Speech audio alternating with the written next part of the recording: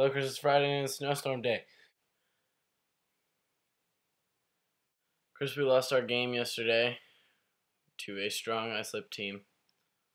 Um, I had gotten in the game and I had performed pretty well. And Mom had actually posted a video of one point in the game that I was in.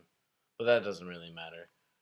What matters is you weren't there, and because of that, we lost. But there's always next season, and also baseball time. I have two challenges for you, or I have two challenges for me, myself, and I to complete for Sunday, which is number one 20 jokes while being upside down. And number two, the answer to your question, five presents, the, the top five presents for a guy. Not necessarily like Valentine's Day presents, just presents.